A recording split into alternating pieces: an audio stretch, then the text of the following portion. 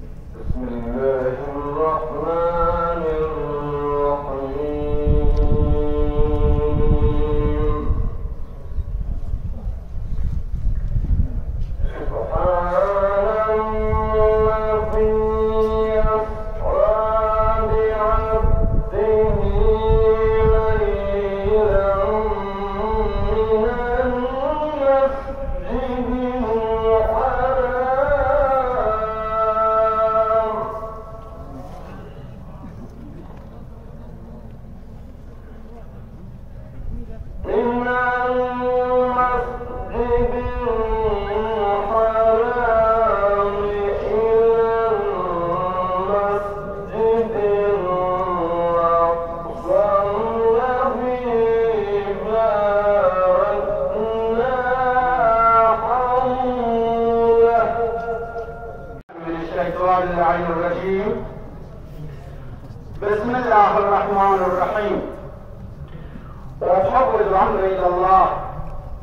إن الله بصير بالعباد. اور ہم نے عمل کی آزادی کے لیے مناتے ہیں اور ساتھ ہی ساتھ کہ ہم نے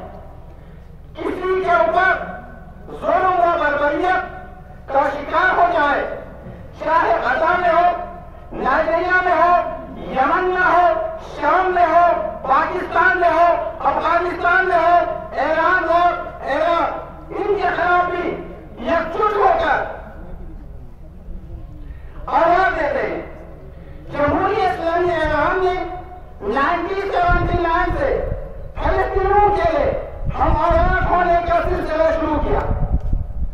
عزیز من وزدار رب العالمین، الصلاة والسلام على اشرف الانبیاء والمرسلین وعلى آلہ الطیبین الطاہرین۔ اگرچہ ظاہراً یہ جو ناجائز اسرائیلی ریاست ہے، اس کا قیام انیس سو اڑتالیس میں ہوا۔ لیکن اس کی سازشیں جو ہے، وہ پہلی جنگ عظیم کے بعد شروع ہوئی۔ انیس سو سترہ میں بزرگ سامراج برطانیہ کے پول جو وہاں کے فارن سیکٹری تھے، انہوں نے ایک سو اکسٹھ سکسٹی سیون ووٹس کا ایک لیٹر لکھا۔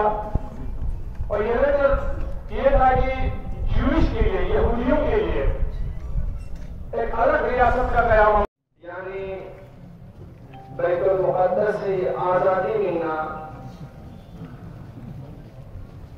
حضرت آیت اللہ عظمہ سید روح اللہ خمینی کے پس رہبر کبیر انقلاب جمہوری اسلامی ایرانس کہ تمام عالم اسلام را یہ پیغام چکاس دے پیغام پکا درس حفا، تمام عالم اسلامس لبیک سے بیت المقدس آزادی ملنا حیات پہ و انشاءاللہ تمام مسلمان کن دنياي كبو نشيا يبنا كبو جيا يبنا بين المقدس آزادي انتهاز حباه دي حريات بين الجسن دي جنگ بين الجسن دي احتجاج بودانش بين الجسن جاء فلسطين بيت المقدس من مني قبل أول خانة كعبة الله من رس بيت المقدس نسل مسلم